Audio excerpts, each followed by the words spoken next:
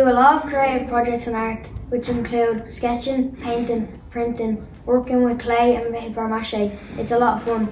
We learn about different artists and make work inspired by them. We are learning about Picasso at the moment, who was an influential war artist.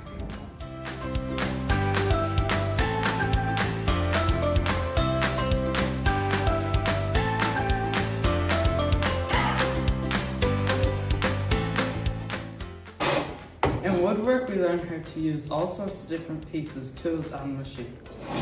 In woodwork, we learn how to safely use all the tools and create good projects.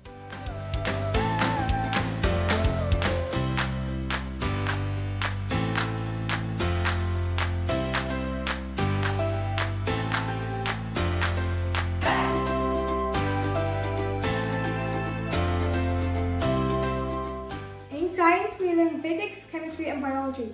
We learn about the body and how the world works. We also do a lot of cool experiments.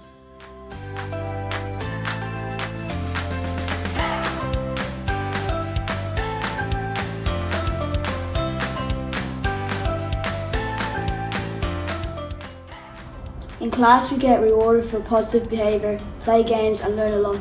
The teachers are all really nice, and classes are a lot of fun.